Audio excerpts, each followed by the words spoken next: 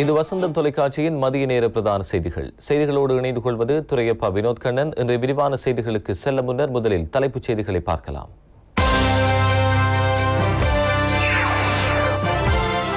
ஜனாதிபதி தேர்தலுக்கான கட்டுப்பணம் மற்றும் தபால் மூல விண்ணப்பங்கள் இன்று முதல் ஏற்பு. ஐக்கிய தேசிய கட்சி ஜனாதிபதி வேட்பாளர் விரிவான கூட்டணியில் இருந்து ஐக்கிய தேசிய முன்னணியின் கட்சி தலைவர்கள் கூட்டம் இன்று மாலை. முன்னாள் ராணுவ தளபதிகளுக்கு பதவி உயர்வு. அமெரிக்காவிற்கு புதிய பாதுகாப்பு ஆலோசகர்.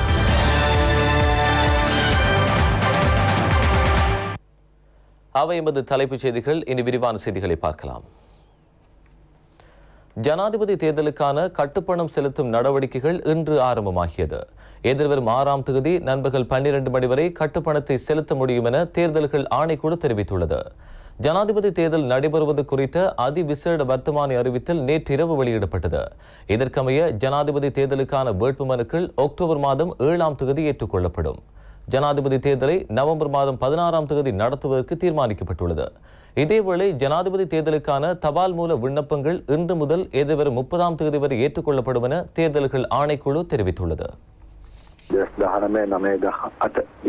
இரண்டாயிரத்து பத்தொன்பது ஒன்பது பதினெட்டாம் தொகுதி இருபத்தி ஒன்று நாற்பத்தி ஒன்றின் கீழ் இருபத்தி ஐந்து எனும் வர்த்தமானி அறிவித்தலின் பிரகாரம் அக்டோபர் ஏழாம் தேதி வேட்புமனுக்கள் ஏற்றுக்கொள்ளப்படும். தேர்தல்கள் செயலகம் சரண மாவட்ட ராஜகிரிவில் அமைந்துள்ள அலுவலகத்தில் காலை ஒன்பது மணி முதல் ஒரு மணி வரை வேட்பு மனுக்கள் ஏற்றுக்கொள்ளப்படும். அவ்வாறே ஆட்சேபணிகளும் அன்றைய தினம் ஒன்பது மணி முதல் பதினோரு மணி வரை ஏற்றுக்கொள்ளப்படும் வேட்பு மனுக்களை ஏற்றுக்கொள்ளும் போது ஏற்றுக்கொள்ளப்பட்ட அரசியல் கட்சியாயின் ஐம்பதாயிரம் ரூபாய் கட்டுப்பணத்தை செலுத்த வேண்டும் சுயேட்சை வேட்பாளராக காணப்பட்டால் எழுபத்து ஐயாயிரம் ரூபாவை கட்டுப்பணமாக செலுத்த வேண்டும் கட்டுப்பணத்தை இன்று முதல் எதிர்வரும் ஆறாம் தேதி நண்பகல் பன்னிரண்டு மணி வரை அலுவலக நாட்களில் தேர்தல்கள் செயலகத்தில் செலுத்த முடியும் அத்துடன் நவம்பர் மாதம் பதினாறாம் தேதி தேர்தல் நடைபெற உள்ளது මගේ විදිහට දෙදස් දහනම නවමත් මස දාසයන දින චන්ද විමසයෙන් පැත්තිම සඳහා දින නියම කරන ලැබවා.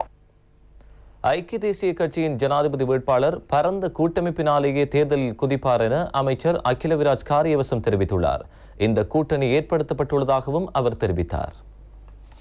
එක්සත් ජාතික පක්ෂයෙන් ඉදිරිපත් කරන අපේ ஐக்கிய தேசிய கட்சியின் ஜனாதிபதி வேட்பாளர் பரந்த கூட்டணியிலேயே தேர்ந்தெடுக்கப்படுவார் இந்த கூட்டணியானது தற்போது ஏற்படுத்தப்பட்டுள்ளது இன்று மாலை ஆறு மணிக்கு கட்சித் தலைவர்கள் பிரதமர் ரணில் விக்ரமசிங்க தலைமையில் கூடுகின்றனர் அடுத்த வாரமளவில் வேட்பாளர் குறித்த இறுதி தீர்மானம் எடுக்கப்படும் இலச்சினை தொடர்பாக எதிர்காலத்தில் அறிவிக்கப்படும் ටිකක් පිළිබඳව අ, තීරණයක් ගැනීමට අපි අ, කටයුතු කරන්න බලාපොරොත්තු වෙනවා. முன்னாள் விமான மற்றும் கடற்படை தளபதிகளான ரோஷான் குணதிலக்கு மற்றும் வசந்த கருணாகுட ஆகியோருக்கு புதிய பதவி உயர்வுகள் வழங்கும் நிகழ்வு இன்று முற்பகல் ஜனாதிபதி மைத்ரிபால சிறிசேன தலைமையில் கொழும்பு துறைமுக கிழக்கு இறங்கு துறையில் இடம்பெற்றது. இலங்கை கடற்படையின் முன்னாள் தளபதி அட்மிரல் வசந்த் கருணாகுட இன்று அட்மிரல் ஆஃப் த ஃபீல்டு பதவிக்கு உயர்த்தப்பட்டுள்ளார் இது இந்த நாட்டு கடற்படை வரலாற்றில் கடற்படை தளபதி ஒருவருக்கு வழங்கப்படுகின்ற உயர்ந்த பதவியாகும் இதற்கான பதவி பிரமாணம் ஜனாதிபதி தலைமையில் வழங்கி வைக்கப்பட்டது இதன்போது இலங்கை விமானப்படையின் முன்னாள் தளபதி ரோஷான் குணதிலக்கவும் இன்று மார்ஷல் ஆஃப் த ஏர்ஃபோர்ஸ் பதவிக்கு உயர்த்தப்பட்டார் Admiral of the Fleet rank to the Admiral Vasanta Karanaguda.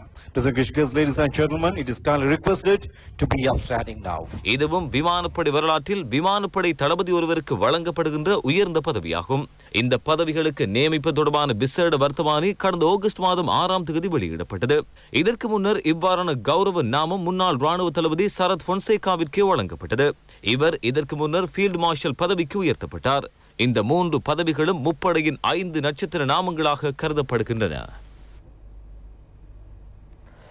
நீண்ட காலமாக பதவி உயர்வு கிடைக்காத முப்பத்தி ஓராயிரம் போலீஸ் அதிகாரிகளுக்கு பதவி உயர்வுகளை வழங்குமாறு ஜனாதிபதி மைத்ரிபால சிறிசேன ஆலோசனை வழங்கியுள்ளார்.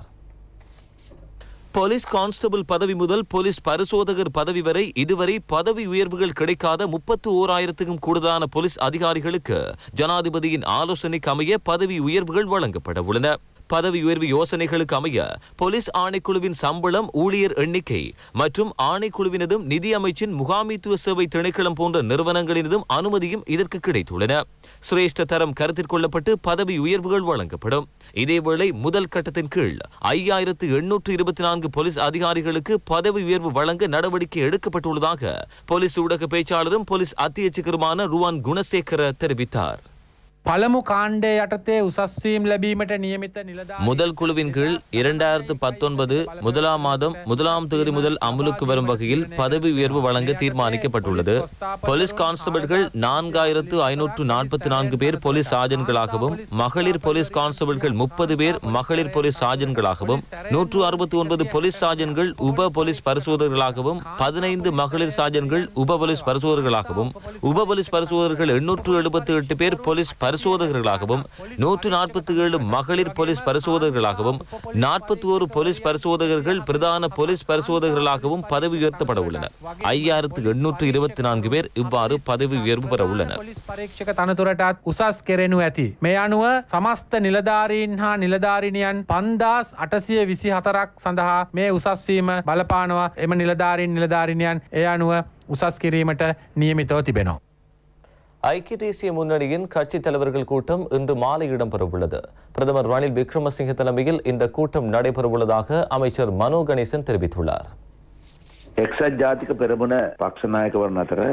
ஐக்கிய தேசிய முன்னணி கட்சித் தலைவர்களின் கூட்டம் இன்று மாலை அலரி மாளிகையில் இடம்பெறவுள்ளது.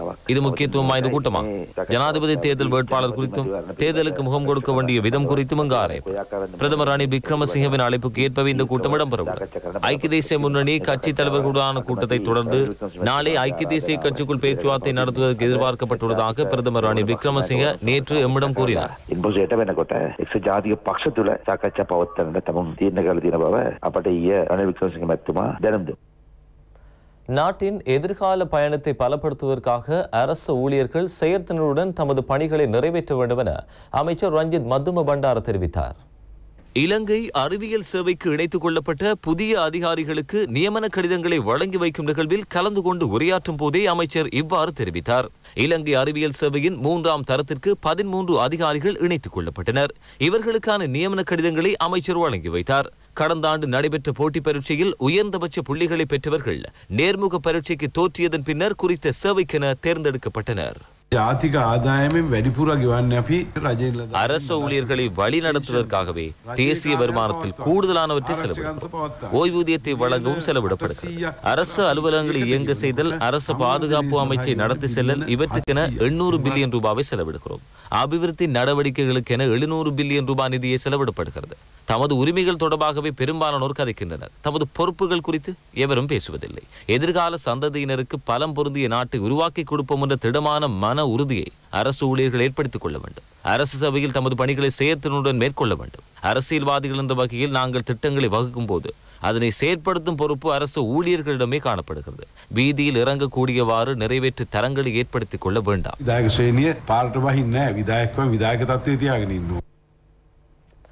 உலக சந்தையின் சவால்களை வெற்றி கொண்டு வர்த்தகர்களுக்கு தேவையான வசதிகளை வழங்குவதற்கான விசேட வேலை திட்டங்களை வகுக்கப் போவதாக ராஜாங்க அமைச்சர் நிரோஷன் பெரேரா தெரிவித்தார். வெண்ணாப்புவ வர்த்தக சங்கத்தின் இருபத்தி இரண்டாவது ஆண்டு நிறைவு நிகழ்வில் கலந்து கொண்டு உரையாற்றும் போதே அவர் இவ்வாறு தெரிவித்தார். தற்போது இடப்பட்டுள்ள பொருளாதார அடித்தளத்தின் ஊடாக பல்வேறு தொழிற்சாலைகள் மற்றும் வர்த்தக நடவடிக்கைகள் குறித்த சந்தர்ப்பங்களை இனங்கண்டு எதிர்கால திட்டங்கள் மேற்கொள்ளப்படும். உலக சந்தையில் காணப்படுகின்ற சவால்கள் உள்நாட்டு பொருளாதாரத்தில் காணப்படுகின்ற சவால்கள் போன்றவற்றை வெற்றி கொண்டு விசேடமாக வர்த்தக சமூகத்தினருக்கென விசேட திட்டங்கள் முன்னெடுக்கப்படும். இவற்றை மிகவும் ஆர்வத்துடன் மேற்கொள்வதால் எதிர்கால பயணத்தை இலகுபடுத்த முடியும். இதன் மூலம் எதிர்கால திட்டங்களுக்கான சிறந்ததொரு அடித்தளத்தை இட முடியும். වීමේ තුළින් අ, අපිට අනාගතයේදී අ, ඒ සඳහා විශේෂ වූ අධිතාලමක් දැමීමට හැකිවේ කියලා අපි විශ්වාස කරනවා. இலங்கை ராணுவத்தினால் மேற்கொள்ளப்படுகின்ற நீர்க்காகம் பயிற்சி நடவடிக்கையின் மற்றொரு நடவடிக்கை பண்டார்நாயக்க மாநாட்டு மண்டப வளாகத்தில் இடம்பெற்றது இம்மாதம் மூன்றாம் தேதி ஆரம்பமாகிய நீர்க்காகம் நடவடிக்கையானது இம்மாதம் இருபத்தி மூன்றாம் தேதி வரை இடம்பெறவுள்ளது. பண்டார்நாயக்க மாநாட்டு மண்டப வளாகத்தில் இடம்பெற்ற பணைய கைதிகளை மீட்டெடுக்கும் நடவடிக்கை ராணுவத்தின் கொமாண்டோ படைப்பிரிவினால் மேற்கொள்ளப்பட்டது. ஜனாதிபதியின் செயலாளர் உதய் ஆர். செனவிரத்ன பாதுகாப்பு செயலாளர் நாயகம் சாந்த கோட்டேகுட ராணுவ தளபதி லெப்டினன்ட் ஜெனரல் ஷபேந்திர சில்வா உள்ளிட்ட பலரும் இதில் கலந்து கொண்டனர். මේ පරිශ්‍රය සූදානම් කරගෙන අද பணைய கைதிகளை விடுவிப்பது தொடர்பான நடவடிக்கை எங்கு மேற்கொள்ளப்பட்டது கமாண்டோ ரெஜிமெண்டினால் இந்த பயிற்சி நடவடிக்கை மேற்கொள்ளப்பட்டது இதில் பங்கு பற்றியவர்களுக்கு இதனால் சிறந்த அனுபவங்களை பெற முடிந்தது ලබාදීම ආරමුණෙන් කමාන්ඩ් රජිමේන්තු විසින් මෙ අභ්‍යාසය කරුන් ලැබවා. அம்பலந்தொட்ட பிரதேச சபை எல்லைக்குட்பட்ட பகுதியை போதையற்ற வலயமாக மாற்றி அமைப்பதற்கு அந்த பிரதேச சபை ஏகமனதாக தீர்மானித்தது அம்பலாந்தோட்ட பிரதேச சபை எல்லைக்குட்பட்ட பகுதிகளில் ஏற்படுத்தப்பட்டுள்ள மதுபான சாலைகள் மற்றும் மதுபான மொத்த விற்பனை நிலையங்களுக்கு வழங்கப்படுகின்ற அனுமதி பத்திரங்களை இடைநிறுத்துமாறு அம்பலந்தோட்ட பிரதேச சபை எதிர்க்கட்சித் தலைவர் ஆர் பி சந்திரகுமார தனிப்பட்ட பிரேரணை ஒன்றை முன்வைத்தார். இதனை அந்த பிரதேச சபையின் ஆளும் மற்றும் எதிர்க்கட்சி உறுப்பினர்கள் அனைவரும் ஏகமனதாக நிறைவேற்றினர். ஐக்கிய தேசிய கட்சி ஸ்ரீலங்கா பொதுஜன பெரமுன ஸ்ரீலங்கா சுதந்திர கட்சி மக்கள் விடுதலை முன்னணி ஆகிய கட்சிகளை பிரதிநிதித்துவப்படுத்துகின்ற முப்பத்தி இரண்டு உறுப்பினர்கள் இதற்கு அனுமதி வழங்கினர். இது குறித்து பிரதேச மக்கள் பாராட்டு தெரிவித்துள்ளனர். சட்டவிரோதமாக கடற்றொழில் நடவடிக்கைகளில் ஈடுபட்ட ஐந்து இந்திய மீனவர்கள் கடற்படையினரால் கைது செய்யப்பட்டனர். வடகடல் எல்லையில் சட்டவிரோதமாக இவர்கள் மீன்பிடி நடவடிக்கைகளில் ஈடுபட்டுள்ளனர். இவர்களுக்குரிய ட்ரோலர் வள்ளமும் கடற்படையினரால் கைப்பற்றப்பட்டது. கைது செய்யப்பட்ட மீனவர்களை கடற்படையினரால் உத்தர நிறுவனத்திடமும் ட்ரோலர் வள்ளம் எலாரா நிறுவனத்திடமும் ஒப்படைக்க நடவடிக்கை எடுக்கப்பட்டுள்ளது. எதிர்கால சட்ட நடவடிக்கைகளுக்கென இவர்கள் யாழ் உதவி கடற்றொழில் பணிப்பாளரிடம் ஒப்படைக்கப்பட உள்ளனர். மேல் சப்ரகமுவ தெற்கு மத்திய மற்றும் வடமேல் மாகாணங்களில் இடியுடன் கூடிய மழை பெய்யக்கூடும் என வளிமண்டலவியல் திணைக்களம் தெரிவித்துள்ளது. கடல் பரப்பும் ஓரளவு கொந்தளிப்பாகவும் காணப்படும் என திணைக்களம் மேலும் அறிவித்துள்ளது. மத்திய சப்ரகமுக மேல் வடமேல் மற்றும் தென் மாகாணங்களில் மழை அல்லது இடியுடன் கூடிய மழை பெய்யக்கூடும். அனுராதபுரம் யாழ்ப்பாணம் மற்றும் மன்னார் மாவட்டங்களில் இடைக்கிடையே மழை பெய்யக்கூடும். ஊவ மாகாணத்தின் பல இடங்களிலும் அத்துடன் அம்பாறை மற்றும் மட்டக்களப்பு மாவட்டங்களின் பல இடங்களிலும் பிற்பகல் இரண்டு மணிக்கு பின்னர் மழை அல்லது இடியுடன் கூடிய மழை பெய்யக்கூடும். மத்திய மற்றும் சபரகமுக மாகாணங்களின் சில இடங்களிலும் அத்துடன் காலி மாத்திரை மற்றும் களுத்துறை மாவட்டங்களின் சில இடங்களிலும் எழுபத்தி ஐந்து மில்லி மீட்டரிலும் கூடிய ஓரளவு பலத்த மழை பெய்யக்கூடும். பலத்த காற்றும் மின்னல் தாக்கங்களும் ஏற்படக்கூடிய சந்தர்ப்பங்களில் பொதுமக்கள் அவதானத்துடன் செயற்படுமாறு கேட்டுக் கொள்ளப்படுகின்றனர். கடல் பிராந்தியங்களை பொறுத்தவரையில் காங்கேசன்துறை தொடக்கம் மன்னார் கொழும்பு காலி ஊடாக ஹம்மாந்தோட்டை வரையான கடல் பிராந்தியங்களின் பல இடங்களில் மழை அல்லது இடியுடன் கூடிய மழை பெய்யக்கூடும். நாட்டை சூழவுள்ள ஏனைய கடல் பிராந்தியங்களின் பல இடங்களில் மாலை அல்லது இரவு வேளைகளில் மழை அல்லது இடியுடன் கூடிய மழை பெய்யக்கூடும். அம்மாந்தோட்டை தொடக்கம் பொத்துவிலூடாக மட்டக்கிளப்பு வரையான அத்துடன் புத்தளம் தொடக்கம் மன்னார் காங்கேசன்துறை ஊடாக முல்லைத்தீவு வரையான கடல் பிராந்தியங்களில்